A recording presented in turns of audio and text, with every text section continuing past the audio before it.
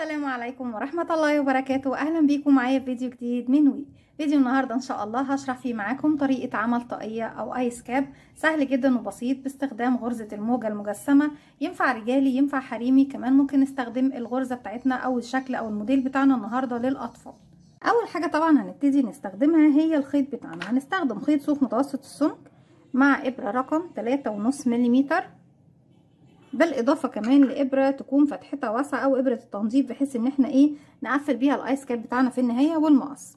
طيب أول حاجة بنبتدي نعملها لل ice cap بتاعنا النهارده أو أول حاجة بنبتدي خطواتنا نعملها إن إحنا بناخد المقاس الخاص بالشخص اللي هنعمله الطاقية أو ال ice cap. بناخد مقاسين بناخد طول الطاقية وبناخد الدوران اللي هو حول الرأس. ما باخدش قطر الدائرة لأن ال ice cap بتاعتي مش هبتديها من فوق لتحت لأ هنبتديها من تحت لفوق.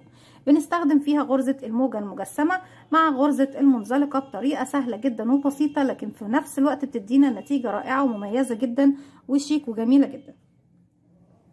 هنقول بسم الله الرحمن الرحيم. في البداية طبعا عدد السلاسل اللي ببتدي أشغله بيكون هو طول الآيس كاب بالكامل. يعني أنا شغله هنا معاكم واحدة دي اللي هنقفلها مع بعض إن شاء الله. أهي بصوا بسم الله الرحمن الرحيم. بصوا الغرزة بتاعتنا قد إيه مميزة وجميلة. ال ice cap طبعا بنشغلها كلها الطول بتاعي كامل. أنا عاملاها هنا دي طاقية رجالي أو حريمي لأن الحريمي والرجالي بيكونوا طبعا طول واحد وهو 27 سنتي. ومحيط الراس طبعا بيرجع للشخص إيه اللي بيلبس ال ice cap اللي انت بتقيسي عليه أو بتاخديه من جدول مقاسات الطواقي وموجود عندنا على القناة. بنعمل طبعا ال ice cap بتاعنا كله على بعضه زي ما إحنا شايفين بناخد السلاسل بتاعتنا على أساس طول ال ice cap بالكامل. وبعد كده بنبتدي نشتغل. طيب بدايتنا للشغل إحنا بنقسم الشغل بتاعنا بردك على أكتر من مرحلة. عندي الجزء اللي في الأول اللي هو الإطار اللي بيكون خاص بالايس كاب أنا بعمله يعني على حسب ما انت حابة حابة عريض اعملي 10 غرز حباه يعني على قد ما أنا عاملاه النهارده أنا عاملاه 8 غرز. حباه أقل اعمليه 6 غرز. والجزء اللي فوق عملته 6 غرز بحيث إن أنا عايزة الجزء اللي فوق يكون مضموم وصغير شوية علشان لما أجي أخيطه ما يكونش إيه آه يعني تخين كده ومترهل معايا في الجزء لما نيجي نضم الجزء اللي فوق. بصوا لما نيجي نضم كده بالشكل ده هنبص نلاقي الجزء اللي فوق مضموم خلقة يعني بالشكل ده يكون حلو جدا. وبعد كده بنبتدي نخيط ال ice cap. طيب تعالوا بقى نشوف مع بعض هنبتدي نعمل ال ice cap بتاعنا مع بعض النهارده إزاي.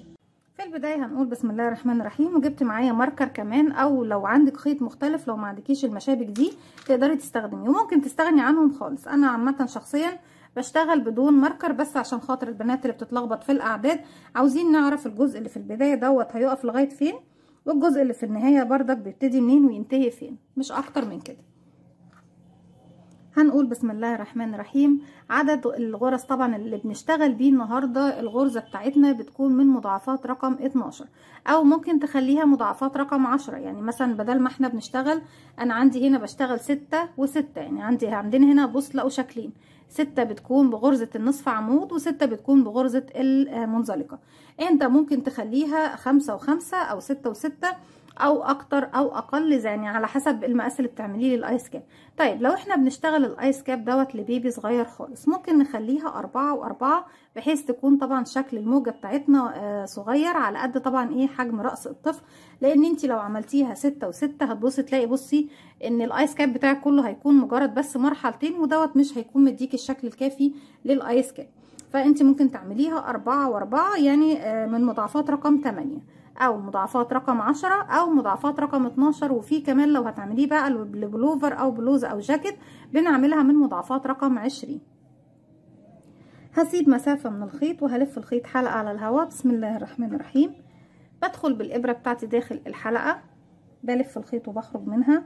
طرف الخيط بشده بقى في عقدة البداية عدد السلاسل اللي بتعمليها للإطار الأول حدديها زي ما انت عاوزة. أنا عملت في الآيس كاب اللي فات دوت 8 سلاسل في البداية وبعد كده ابتديت أعمل آه العدد بتاع المضاعفات. وبعد ما خلصت المضاعفات زودت كمان 6 في النهاية. يعني التمانية والستة دول إضافيين من عندك ملهمش علاقة بالمضاعفات بتاعتنا.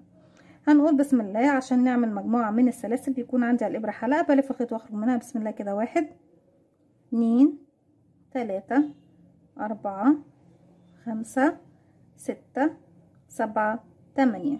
التمانية دول هما الإطار الأول بتاعي للآيس كاب. هحط بقى الماركر بتاعي عنده عند آخر غرزة. وابتدي أعمل مضاعفات رقم اتناشر. واحد اتنين تلاتة أربعة خمسة ستة سبعة تمانية تسعة عشرة حداشر اتناشر.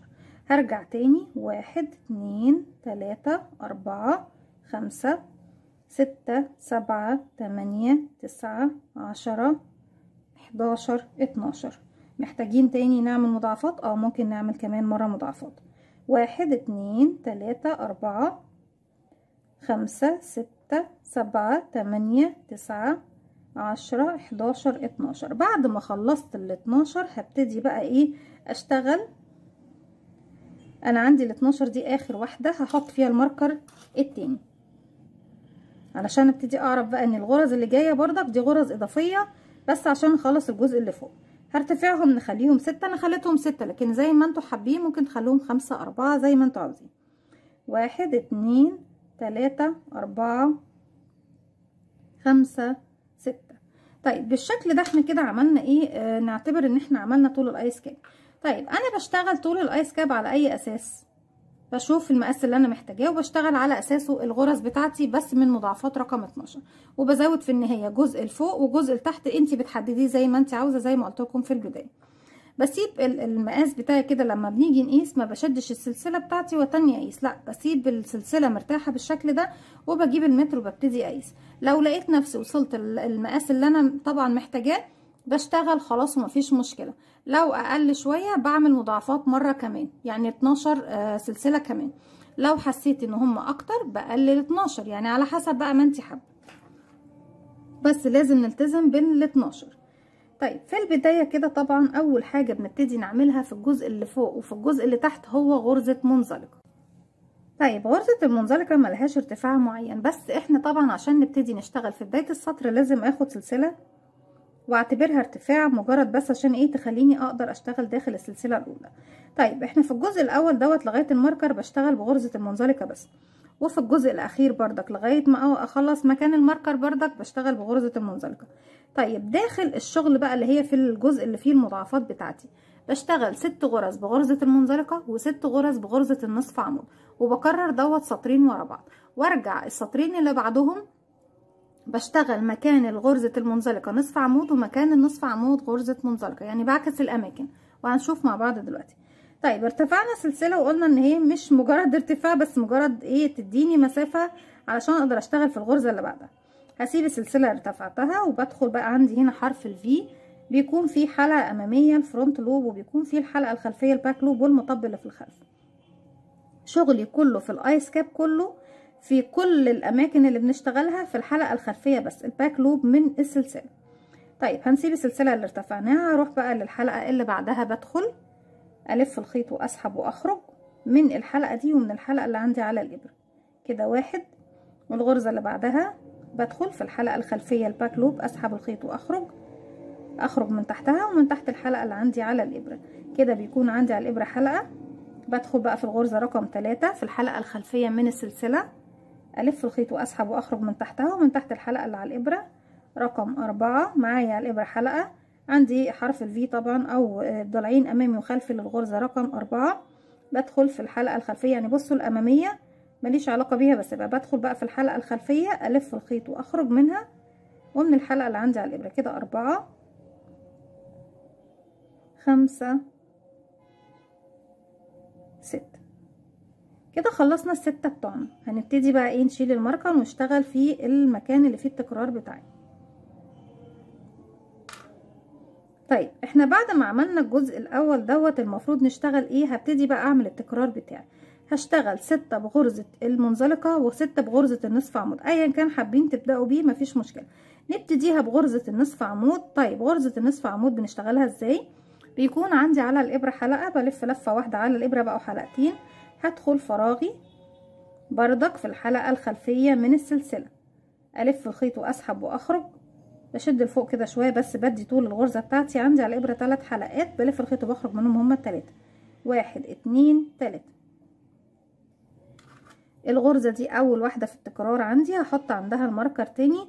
علشان بعد كده أبتدي بقى في السطور اللي فوق. أبقى عارفة بدايتي فين ونهايتي فين.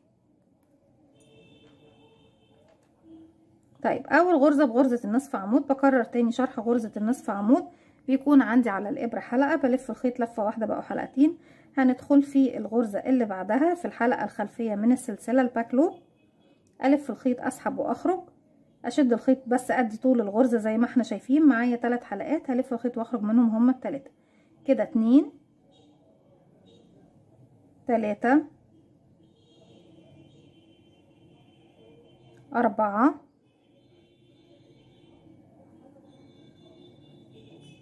خمسة.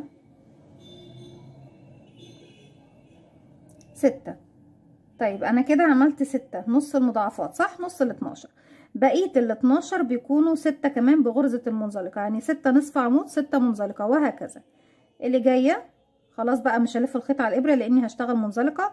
معايا على الإبرة حلقة بدخل الفراغ اللي بعدها ألف الخيط وأسحب وأخرج من تحتها ومن تحت الحلقة اللي عندي على الإبرة بغرزة منزلقة. كده واحد. اتنين. تلاتة. أربعة. خمسة. ستة. هرجع تاني. ستة. نصف عمود. بلف الخيط على الإبرة وبدخل في الباك لوب الحلقة الخلفية. أسحب الخيط وأخرج وأشتغل غرزتي. واحد. اتنين. تلاتة أربعة خمسة ستة. ستة نصف آه ستة غرزة منزلقة. طالما خلصت ستة نصف عمود يبقى ستة منزلقة. واحد اتنين تلاتة أربعة خمسة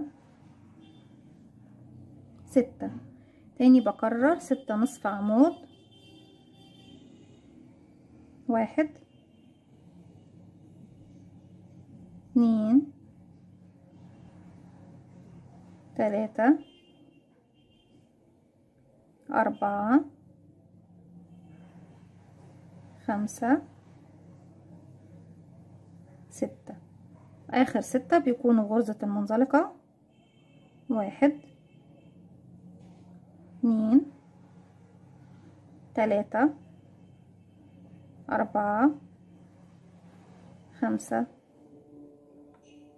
ستة طيب هنا بقى بتبتدي التمن غرز اللي في النهاية اللي إحنا طبعا بنعملهم الإطار للآيس كاب بتاعنا.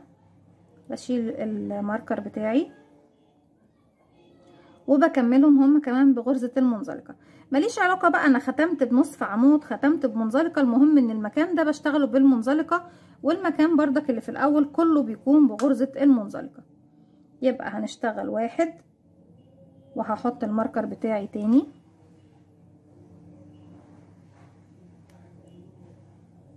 اتنين. تلاتة. أربعة. خمسة ستة سبعة تمانية. زي ما اتفقت معاكم كل سطرين بيكونوا تكرار لبعض. يعني إحنا هنا اشتغلنا السطور السطر اللي اشتغلناه ده هو هو اللي هكرره فوق. هرتفع سلسلة وزي ما قلت لكم غرزة المنزلقة ملهاش ارتفاع بس عشان أقدر اشتغل في الغرزة اللي بعد اللي أنا واقفة فيها لازم ارتفع السلسلة دي. هسيب السلسلة اللي أنا ارتفعتها وهروح للغرزة اللي بعدها. في الحلقة الخلفية برضه كان عندي هنا حلقة أمامية وحلقة خلفية بدخل في الخلفية. أشتغل الجزء الأول والجزء الأخير بغرزة المنزلقة على مدى ارتفاعي للآيس كاب كله. واحد. بعد الشغل كده عشان أقدر أدخل الحلقة الخلفية مباشرة. اتنين. تلاتة. أربعة. خمسة ستة سبعة تمانية. أرجع أحط الماركر بتاعي تاني فوق هنا بقى. بس أما نبتدي نشتغل الغرزة اللي جاية. طيب الغرزة اللي جاية إحنا لسه المكان ده كان فيه إيه بعد التمانية؟ كان في منزلق. يبقى هشتغل زيها منزلق. أنا قلت لكم كل سطرين بيكونوا شكل بعض. كده واحد. واحد اتنين تلاتة أربعة خمسة ستة سبعة تمانية. عندي كده واحد.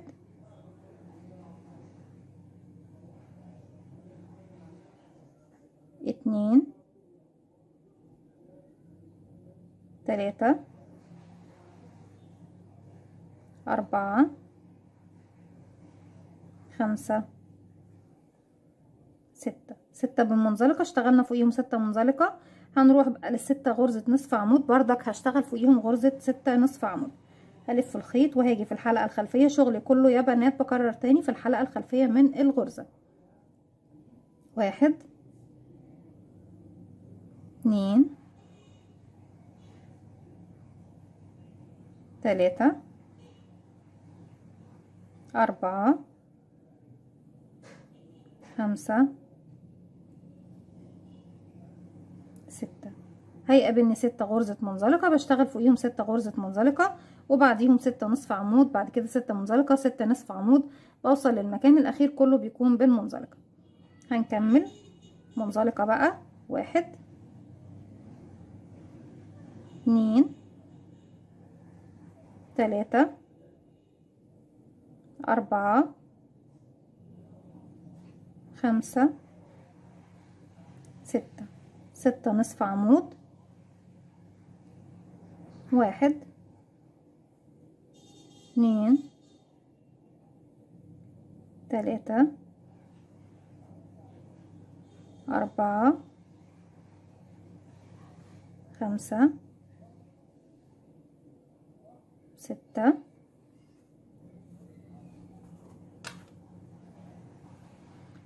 ستة منزلقة بيكون فوقيهم ستة منزلقة زيهم. واحد اتنين تلاتة أربعة خمسة ستة. ستة نصف عمود يبقى زيهم ستة نصف عمود. واحد اتنين تلاتة أربعة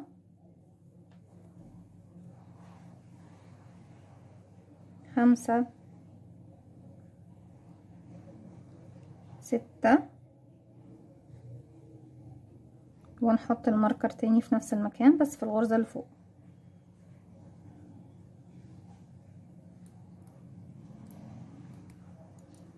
بدايتي ونهايتي الجزء اللي محددينه تحت وفوق كله بيكون بغرزة المنزلق واحد. اتنين. تلاتة. أربعة. خمسة.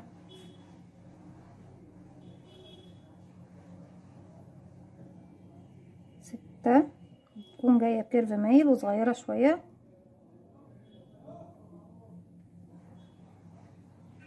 هرتفع سلسلة ولف شغلي الناحية التانية. زي ما اتفقنا مع بعض الستة على الجزء الأول والأخير كله بالمنزلقة. واحد اتنين تلاتة أربعة خمسة ستة. طيب هنا زي ما إحنا شايفين عملنا شكل الموجة ومدياني شكل السمكة كمان. بصوا لأن إيه؟ الجزئين بيكونوا مضمومين على بعض ومديني شكل بارز من الخلف. طيب إحنا السطرين اللي فاتوا وقلنا كل سطرين بيكونوا تكرار شكل بعض. السطرين اللي فاتوا يا بنات كان عندي في البداية ستة نصف عمود ستة منزلقة ستة نصف عمود ستة منزلقة ستة نصف عمود ستة منزلقة وبعد كده كملت النهاية بتاعتي. طيب السطرين اللي جايين اللي إحنا هنشتغلهم دول وابتدينا أول وقت يعني واحد منهم أهو هبتدي بقى أغير مكان النصف عمود بشتغل منزلقة ومكان المنزلقة هشتغل نصف عمود. نبدل الأماكن. هشيل الماركر وابتدي أشتغل بقى هنا أشتغل إيه؟ فوق النصف عمود هشتغل منزلقة واحد. وأحط الماركر بتاعي تاني. ومجرد بس الماركر بحطه عشان أعرف المكان بتاع البداية والنهاية. اتنين. تلاتة. أربعة. خمسة. ستة. هلاقي ستة منزلقة في المكان الصغير دوت هشتغلهم بقى نصف عمود. كله في الحلقة الخلفية. الباك لوب من من الغرزة. واحد. اتنين. تلاتة.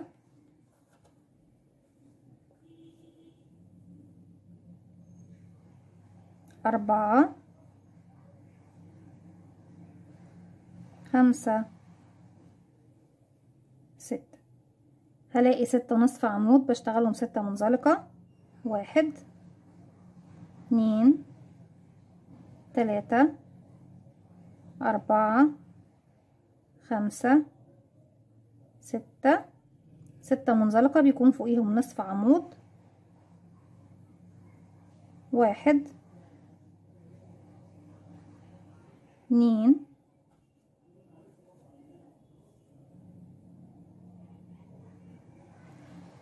تلاتة أربعة خمسة ستة. واللي جايين ستة نصف عمود يبقى فوقيهم ستة منزلقة. واحد اتنين تلاتة أربعة خمسة ستة. ستة منزلقة يبقى فوقيهم ستة نصف عمود. واحد. اتنين.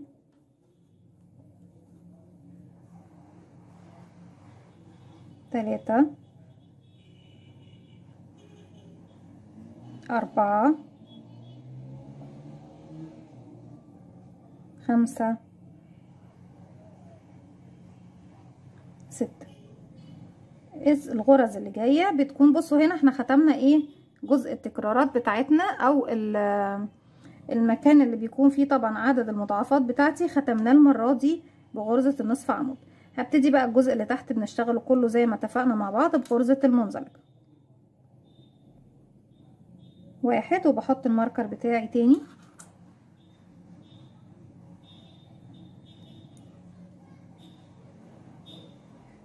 اتنين. تلاتة. أربعة خمسة ستة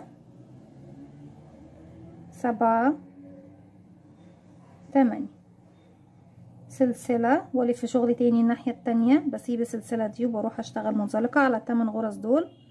واحد اتنين وطبعا السطر بتاعي دوت بيكون تكرار للسطر اللي فات. زي ما اتفقنا مع بعض بكل سطرين بيكونوا تكرار لبعض. وفي السطر اللي بعده ببتدي أغير مكان غرزة النصف عمود غرزة منزلقة ومكان المنزلقة غرزة نصف عمود. ونكرر سطرين كده واحد اتنين تلاتة أربعة خمسة ستة سبعة تمانية. نشيل الماركر تاني وهحطه في الغرزة اللي فوق.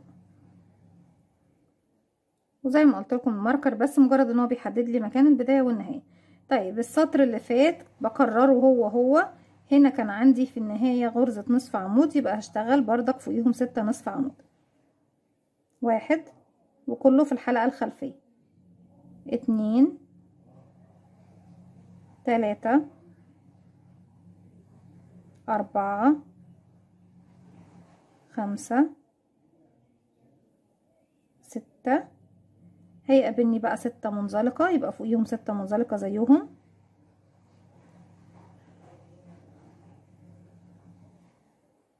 واحد اتنين تلاتة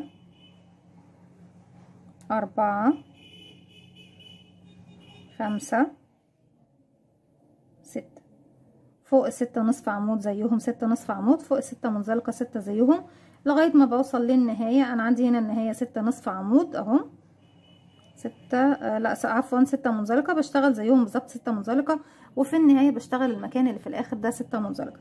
طيب بعد ما بخلص السطر دوت ببتدي أشتغل السطر الجديد بعكس بقى الأماكن. يعني إحنا مثلا عندنا هنا آه في النهاية هنختم بالمنزلقة يبقى السطر الجديد بقى هيبتدي بستة نصف عمود وبعد كده ستة منزلقة وبعكس الأماكن زي ما إحنا شايفين لغاية ما بوصل إلى آه نهاية الدوران بتاعي كله للآيس كاب. طيب بنعمل إيه بقى بعد كده؟ بفضل أشتغل زي ما إحنا شايفين بالشكل دوت. أهي أنا عندي هنا طبعا القطعة دي اشتغلتها بالكامل وبيكون ده شكل الغرزة بتاعتي أهو. ده الظهر عندي وده وش الغرزة. بتشغلي بقى الآيس كاب بتاعك كله بتعدليه بالشكل ده وتبتدي تقيسي الدوران بتاعك هو مظبوط زي ما انت عاملاه ولا لأ. لو خلاص المقاس بتاعك وصل المقاس اللي انت محتاجاه خلاص بتوقفي على كده وتبتدي بعد كده تخيطي الطاقية أو ال ice cap بتاعتك بالخيط والإبرة.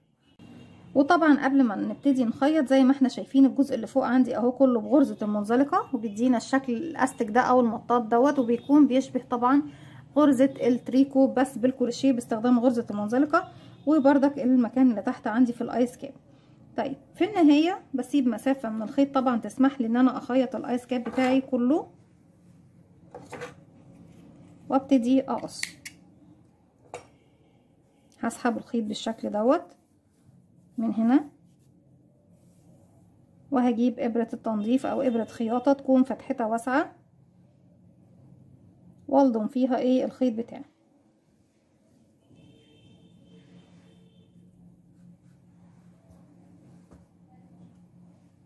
حابة تخيطي على وش الشغل؟ مفيش مشكلة على ظهر الشغل اللي يريحك اشتغلي عليه. هبتدي بقى أجيب كل غرزتين أو كل غرزة قصاد التانية زي ما إحنا شايفين بالشكل ده.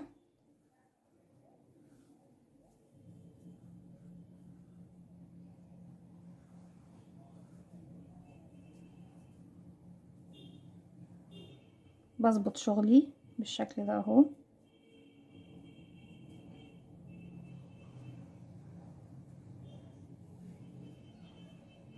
أنا عندي هنا كده على وش الشغل. طيب المفروض إن أنا على وش الشغل بسيب جزء بارز اللي هو طبعا كانه بالظبط غرزة منزلق يبقى هدخل في الحلقة الخلفية وعندي الشغل من الناحية دي هنا. بدخل في الحلقة المتبقية عندي طبعا لأن أنا ما عنديش هنا غير حلقة واحدة لأن دي كانت سلاسل البداية. هندخل في الحلقة اللي كانت متبقية عندي. وابتدي أخيط. أرجع الناحية التانية أدخل في الحلقة دي مع الحلقة اللي كانت طبعا إيه ملاصقة ليها على طول وأخيط بالشكل ده.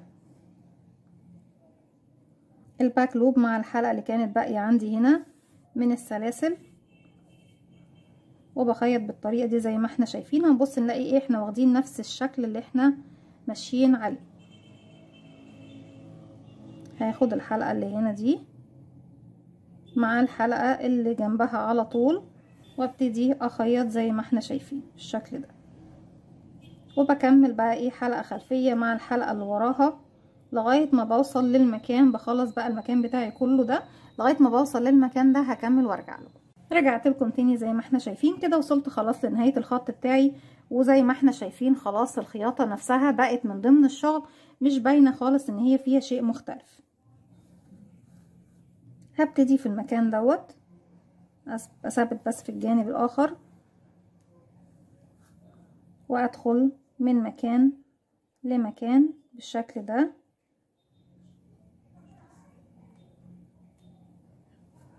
وأبتدي أضم بقى الجزء اللي فوق كله على بعض.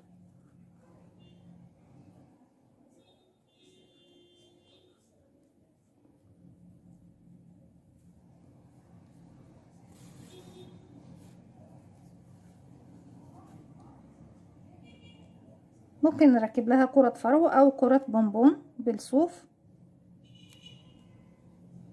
زي ما أنتوا حابين وممكن نسيبها سادة. يعني أنا شخصيا عندي الجماعة اللي عندي ما بيحبوش الكور دي.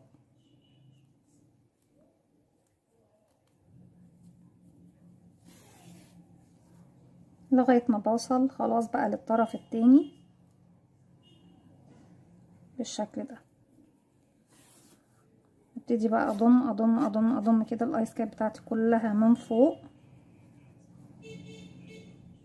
وهدخل بقى جوه.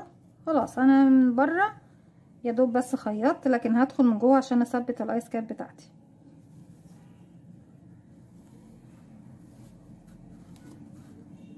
عشان كل الخياطة بتاعتي تكون إيه؟ من الداخل ومفيش حاجة باينة خالص من بره.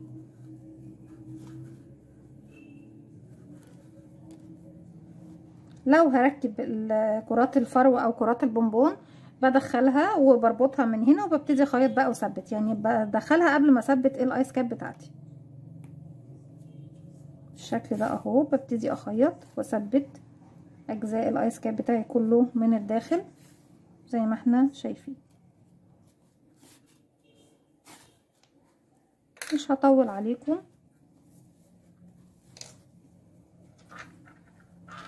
بتكون دي النتيجة بتاعتنا النهائية لل ice cap. وزي ما قلت لكم الفرو بنركبه وإحنا قبل ما بنخيط أو بنثبت الجزء الأخير. دي أنا عاملاها رجالي واللي باللون الأحمر طبعا هتكون حريمي أو نسائي. والاطفالي طبعا أنتوا تقدروا تستخدموا كل الألوان اللي أنتوا حابينها. دي كانت فكرة الفيديو بتاعي النهارده ice cap بغرزه الموجة المجسمة. أتمنى إن هي تكون سهلة وبسيطة. إحنا طبعا أخدنا أو شرحت معاكم قبل كده غرزة الموجة المجسمة في فيديو خاص بيها وشرحت كمان الجزء الأولاني دوت كغرزة المنزلقة اللي هي طبعا بتكون غرزة التريكو بالكروشيه بطريقة سهلة جدا وبسيطة. أتمنى إن الفيديو بتاعي النهارده يكون سهل وبسيط وينول أعجابكم. ما تنسوش لو عجبكم الفيديو تعملوا لي like و share و subscribe واستنوني فيديو جديد من وي. وما تنسوش كمان تفعلوا زرار الجرس عشان يوصلكم مني كل جديد. السلام عليكم ورحمة الله وبركاته.